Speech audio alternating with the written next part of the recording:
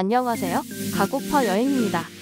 지난 5월 인천에서 배를 타고 대청도에 다녀왔습니다. 인천항 연안 여객터미널에서 대청도에 가는 여객선은 여러 종류가 있는데 각각 가격, 소요되는 시간 등이 다르기 때문에 잘 선택해서 탑승하세요.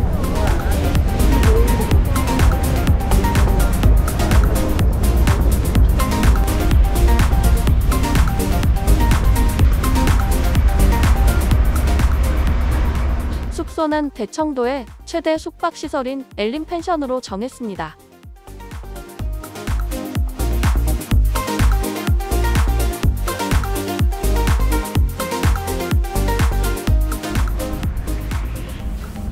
저기 멀리 풀등이 보입니다. 대청도에서 가장 큰 농여해변과 바로 옆에 붙어있는 미아동 해변은 아름다운 경관을 선사합니다. 해변에 들어서면 드넓은 모래사장과 특이한 모양의 바위들이 시선을 사로잡는데요. 습곡작용으로 구부러진 지층이 풍화되어서 만들어진 해식기둥 나이테 바위가 널리 알려져 있습니다. 썰물 때에는 1km 이상의 모래길이 열린다고 하는 대청도의 농여해변. 마치 고목의 나이테처럼 보이는 해식기둥과 멋진 노을입니다. 농여해변의 수많은 모래는 옥죽동 해안사고까지 이동하여 쌓이게 된다는데요. 옥죽동 모래사막은 우리나라에서 유일하게 모래산이 형성되는 곳입니다. 낙타 모형이 있어서 한국의 사하라 사막이라는 말이 정말 잘 어울립니다. 다양한 사층리 형성 과정을 관찰할 수도 있고 암석지대와 함께 위치하고 있기 때문에 보전 가치가 매우 높은 자연유산으로 뽑힌다고 합니다. 아름다운 모래는 모래울 해변에도 깔려 고운 백사장을 만들어내고 있는데요. 원나라 태자의 유배지로도 알려져 있는 대청도는 기린 소나무와 함께 볼거리가 풍부한 곳인데 해변가에 넓게 펼쳐지는 해송림의 규모가 상당한 해변이라 푸른 소나무들과 함께 이국적인 정취를 느낄 수 있는 곳이기도 합니다.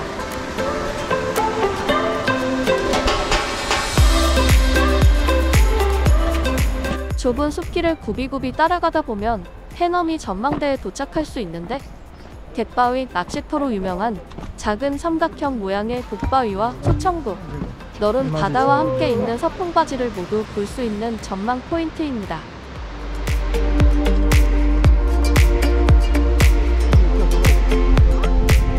대청도 지도에 빼곡하게 답사 포인트가 지정되어 있습니다.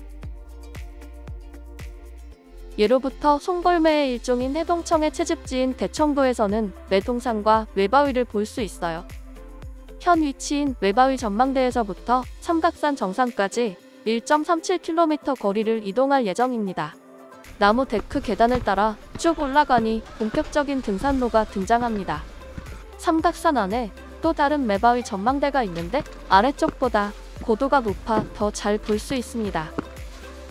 구름에 쌓여 신비로워 보이는 매의 모습과 푸른 대청도가 정말 아름답네요.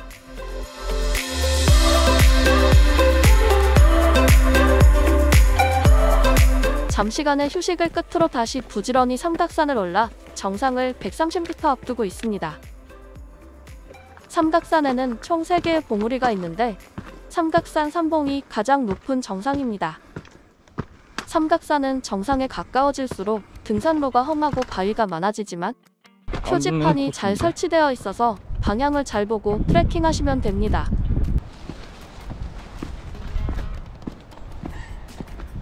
드디어 대청도의 삼각산 정상 해발고도 343m에 도착했습니다. 서해 최북단 최고봉인 대청도의 삼각산 삼봉 정상 구름이 낀 날이라 서풍바지, 백령도 등의 전망은 아쉽게도 볼 수 없었지만 날이 맑을 때면 대청도의 이 형태의 지형과 전망을 넓게 살펴볼 수 있습니다. 안개 가득한 삼각산 정상입니다. 이제 서풍바지 트레킹을 위해 하산합니다. 내려가는 길이 조금 가파릅니다. 대청도 하면 서풍바지 산책로, 서풍바지 트레킹 코스를 들어보신 분들이 계신 만큼 유명한 코스인데요. 서풍거지란 서쪽에서 불어오는 서풍을 온몸으로 받는다는 뜻의 이름이라고 합니다.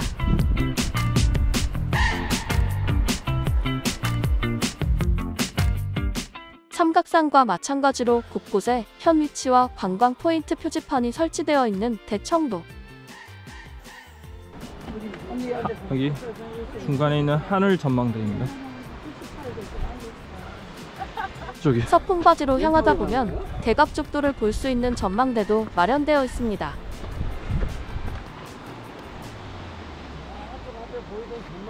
사선으로 깎인 모양의 서풍 바지. 어디에서도 보기 힘든 독특한 풍경이 펼쳐지고 있는 곳입니다. 바람으로 인한 파도가 오래전부터 깎아온 조각바위 언덕을 볼 수 있는 전망대까지 있어 긴 세월 동안 자연이 만들어낸 천혜의 절경을 감상할 수 있습니다. 아름다운 모습을 감상하기 위한 전망대가 곳곳에 설치되어 있는 대청도입니다.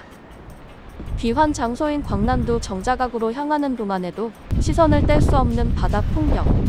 마당처럼 넓은 마당바위입니다. 대청도는 작은 섬임에도 무척 다양한 지형, 높은 산 등이 있어 수많은 볼거리가 있었습니다.